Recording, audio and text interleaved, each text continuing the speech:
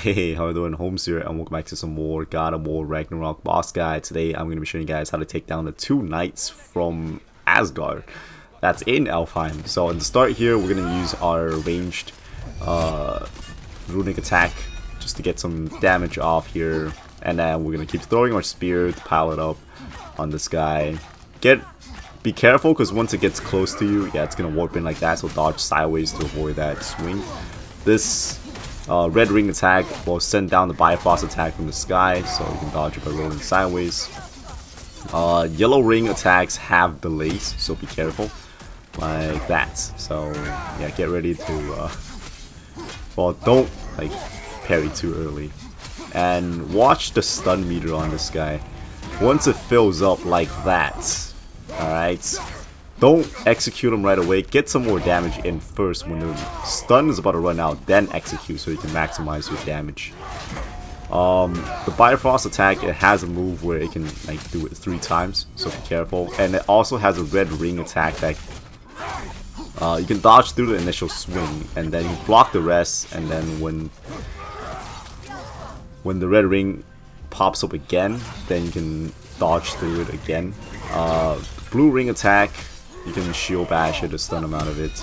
The red ring like spin attack is what's most dangerous in my opinion. Uh, that's why I want to focus down the the hammer knight or whatever you want to call these guys. The hammer strikers. So yeah, there we go. Focus them down. Uh, if the red ring spin attack catches you, I believe it's a one shot. So watch out for that and now we all we have is the the scythe one. And this is pretty much like the one we fought in the campaign. So will caught me with the red ring attack there almost killed me that was a close one. I'm pretty sure if this was on a higher difficulty it would have killed me. So yeah.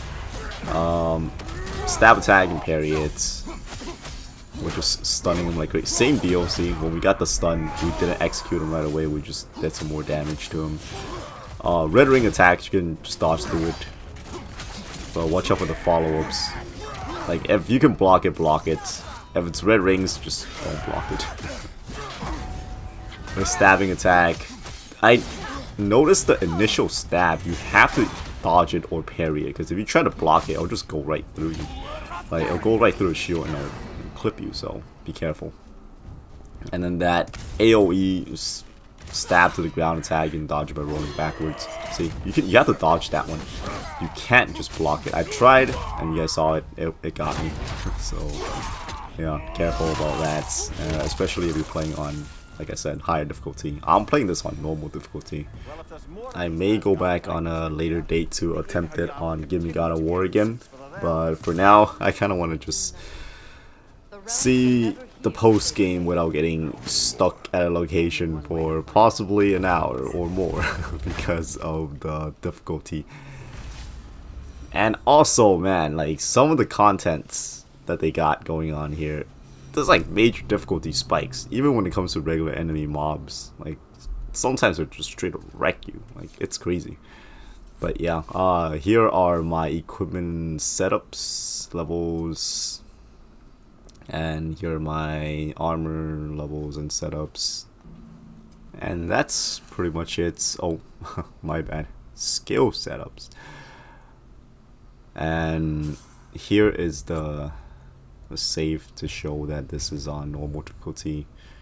There you go. And let me show you guys where the boss is at or this challenge whatever on the map. And yeah uh, that's basically it. Hope this helps, and uh, yeah, thank you all so very much for watching, and I hope to catch y'all next time. Holmes out.